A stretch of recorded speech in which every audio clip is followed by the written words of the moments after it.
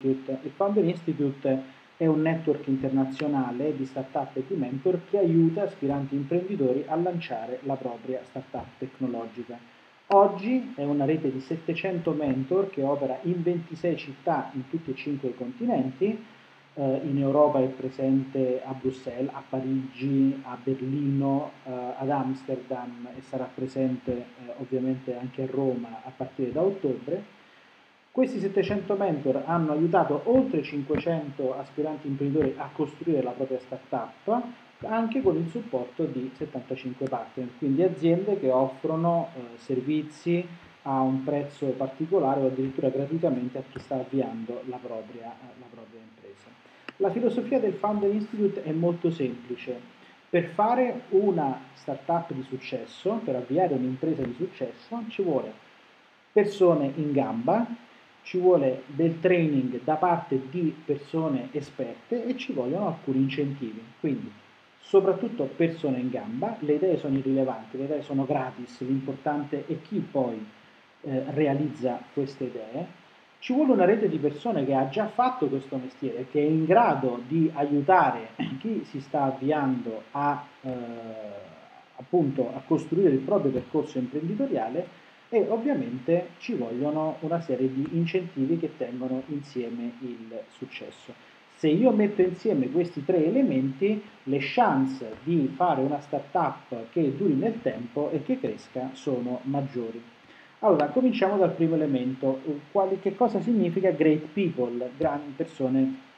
interessanti? La, il Founder Institute pone una grande enfasi su questo aspetto nella fase iniziale di screening dei progetti che entreranno, che potranno partecipare al Founder Institute, il ruolo delle idee è zero. Quello che eh, in realtà interessa capire è quali sono le caratteristiche delle persone. E vengono, la valutazione viene fatta con due strumenti. C'è una forma di ammissione che i, gli aspiranti partecipanti devono, che i candidati devono eh, riempire eh, con, dove si spiegano eh, perché si vuole fare l'imprenditore, perché quali sono le cose di cui si è appassionati e poi ovviamente si forniscono tutti quanti i riferimenti alle proprie presenze online, il profilo su LinkedIn, su Facebook, eccetera, quindi c'è una valutazione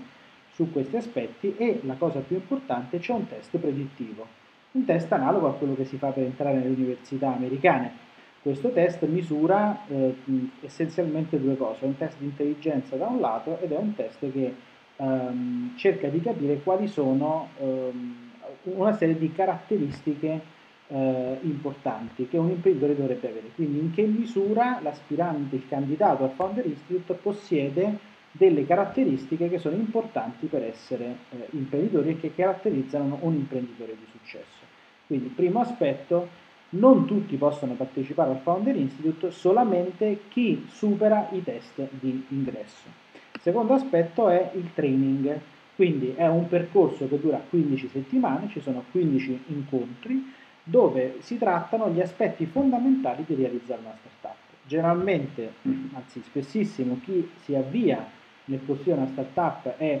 molto innamorato del prodotto, di quello che sta facendo e tende a sottovalutare la, eh, quanto sia importante occuparsi di altri aspetti che sono meno interessanti, meno divertenti, ma che comunque vanno vanno presi in considerazione nel momento in cui il mio obiettivo non è tanto quello di fare un prodotto, ma è di realizzare un'impresa. E quindi in queste 15 settimane, sono grosso modo 4 mesi, cominceranno a ottobre e termineranno a, a febbraio, eh, ci saranno delle sessioni, in ogni sessione ci saranno tre mentor che sono imprenditori nel settore eh, del digitale che affronteranno gli argomenti eh, della, de, dell'incontro, quindi si parte da startup basics, le visioni e i valori, eh, il naming, il branding, co- quali sono gli aspetti legali, come si trovano dei co-founder, piuttosto che come si assumono, si licenziano le persone, gli aspetti economici, quindi i guadagni, i ricavi, i costi e i profitti, come si sviluppa il prodotto e via di seguito. La cosa più importante è che tra un incontro e l'altro eh, bisogna fare delle attività, cioè vengono assegnate delle liste di cose da fare. Eh, per cui l'attività del Founder Institute, non, diciamo, chi partecipa al Founder Institute non partecipa solo a delle lezioni frontali, anzi gli incontri poi per lo più sono dei laboratori, quindi ci sono le tre testimonianze dei tre mentor e poi c'è molto lavoro di gruppo, ma tra un incontro e l'altro bisogna fare delle attività, c'è una lista di cose che vengono, che vengono assegnate. La caratteristica fondamentale del Founder Institute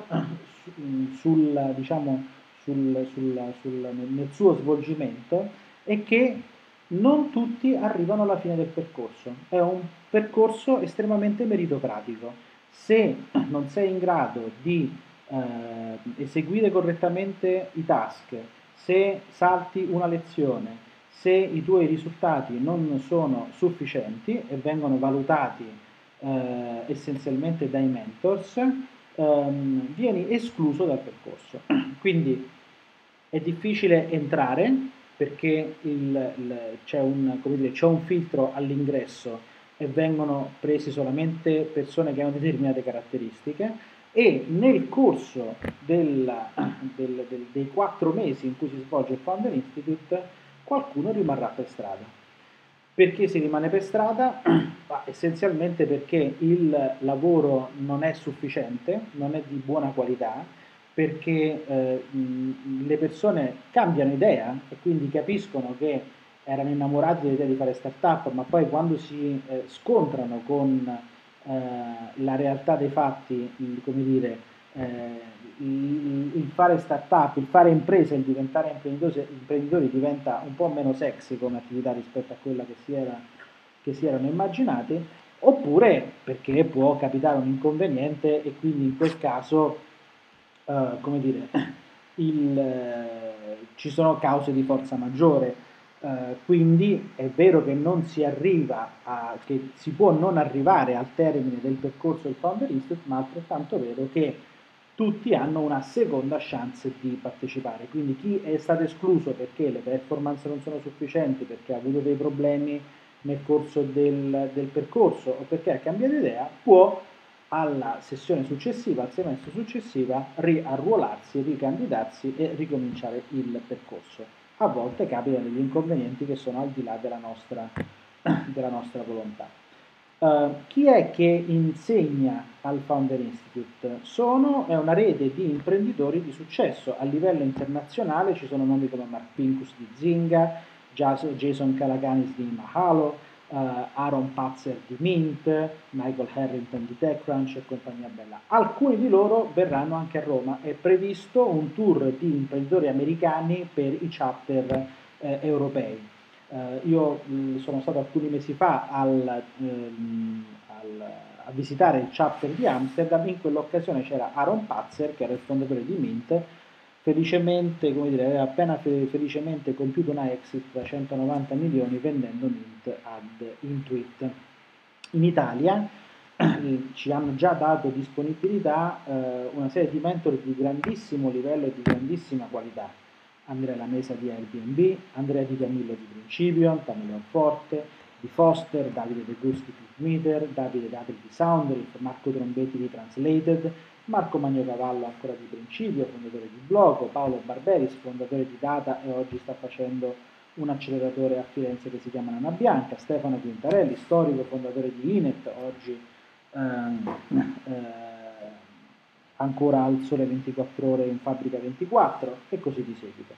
A, que- a questi nomi aggiungeremo di volta in volta altre, altri, eh, abbiamo anche scusate, Ma- eh, Marco Massarotto di Akakure, quindi eh, imprenditori che conoscono il settore del digitale e che, ehm, possono, che aiuteranno gli aspiranti imprenditori a raffinare la propria idea di impresa e eh, a, farla a farla diventare una realtà. Infine il terzo aspetto sono gli incentivi. Uh, in realtà diciamo che questo sistema viene messo, come dire, funziona se tutti quanti sono, uh, partecipano attivamente al, al, al, al, suo successo. Quindi per uh, come dire, eh, premiare il, ben, il buon funzionamento e la eh, partecipazione proattiva di tutti quanti al sistema, è stato creato un pool, è stato creato un fondo che raccoglie una quota pari al 3,5% di ogni startup creata durante il percorso. Perché una delle prove che bisogna fare durante il percorso del Founder Institute è andare dal notaio a costituire una società, che dà proprio il senso del fatto che effettivamente bisogna fare il percorso, si vuole fare il percorso imprenditoriale. Um, oggi si discute molto tra gli aspiranti start-upper dei costi di sta- del notaio e compagnia bella. Beh, se ci si ferma per un po' di burocrazia, probabilmente ehm, fare l'imprenditore non è proprio la scelta della propria vita. Quindi nel percorso del Founder Institute è previsto che a un certo punto si vada dal notaio. Se non si va dal notaio non si finisce il percorso. Nel momento in cui si costituisce una società, il 3,5, l'imprenditore si impegna a cedere il 3,5% del capitale di queste società a conferirlo a un fondo che è un fondo comune. Questo fondo verrà, quando, nel momento in cui verrà monetizzato, verrà ridistribuito tra tutte le persone che hanno partecipato al Founder Institute. Il 40% verrà dato ai gestori del Founder Institute, il 30% per compresi ovviamente i direttori dei chapter locali, il 30% andrà dato, eh, verrà um, dato ai mentors che verranno valutati dai partecipanti e quindi eh, mm, godranno dei benefici dell'equity pool eh, in, in,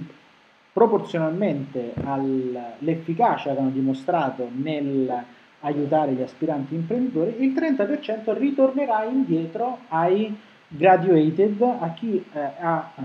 terminato con successo il percorso. Quindi anche se la vostra startup non andrà proprio secondo le vostre aspirazioni, a un certo punto, come dire, potrete comunque beneficiare del fatto che gli altri partecipanti al uh, Founder Institute, le altre persone che hanno partecipato al Founder Institute hanno avuto successo e quindi eh, hanno, come dire, conferito, dato, condiviso un pezzo di quel successo con tutte le altre persone del Founder, del Founder Institute. Um, sono moltissime le, le aziende che si, sono, eh, che si, sono, graduate, diciamo che sono nate dal Founder Institute, eh, oltre 550 in meno di tre anni, il 41% ha ricevuto finanziamenti entro sei mesi dalla Costituzione, solo il 9% è fallita e ehm, ehm, globalmente sono stati raccolti oltre 30 milioni di dollari, quindi complessivamente le aziende sono state finanziate per oltre 30 milioni di dollari. Il Founder Institute è presente in tutte queste città, chi si gradua poi ha accesso, a, diciamo, chi, chi, arriva alla fine ha accesso al network dei founder da un lato e dei mentor dall'altro. Per quanto riguarda le economics, diciamo per quanto riguarda le spese, il costo del Founder Institute c'è una fee di 50 euro per fare il test, il test viene pagato, il Founder Institute paga un uh, ente indipendente per erogare il test, il test è completamente online, costa 50 euro, se la, il test viene eseguito entro uh, il 19 di agosto è gratuito, quindi c'è un, è gratis per chi lo fa il prima possibile. Ehm, chi viene eh, ammesso, i candidati che vengono ammessi, se vogliono partecipare devono eh, pagare 900 euro. Se vi fate un conto rapido sono 900 euro diviso 15 incontri, sono 60 euro ad incontro, quindi meno di una lezione di pianoforte probabilmente, o di una qualsiasi altra cosa. A che cosa servono questi 900 euro? Non retribuiscono né il sottoscritto né, uh, um, né altre persone, e i 900 euro servono per pagare le spese di trasferta dei mentor, perché non possiamo chiedere ai mentor anche di pagarsi le spese per venire da,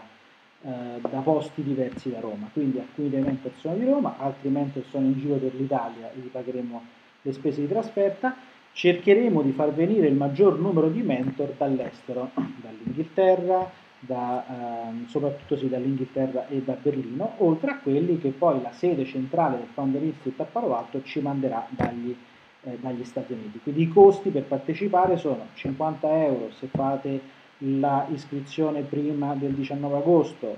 non pagate 50 euro, 900 euro per partecipare eh, all'intero corso, più il 3,5% della, delle, del capitale della vostra società, sostanzialmente è l'equivalente di quello che dareste ad un advisor, a un gruppo di advisor, quindi eh, si configura sostanzialmente come una quota che normalmente viene ceduta a degli advisor, più nel momento in cui prendete fondi da un fondo di venture capital 4.500 dollari che vengono, eh, che, vengono eh, diciamo, che vanno a retribuire le spese amministrative eh, del, eh, del, Founder Institute, quindi del gruppo che eh, sta a Palo Alto e che costruisce il progetto, che costruisce il percorso e via di seguito. Uh, quindi eh, il Founder Institute viene retribuito, quindi le spese del Founder Institute vengono retribuite sulla base del vostro successo. Se voi ottenete finanziamenti esterni, allora riconoscete questi 4.500 dollari di tuition al Founder Institute, altrimenti ciccia. Um, ho finito. Per uh,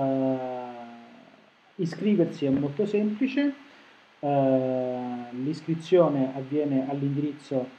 fi.co, fico, è, è, un programma fico quindi deve avere una URL fica, fi.co slash join. Um, grazie dell'attenzione e uh, vi aspetto a Founder Institute.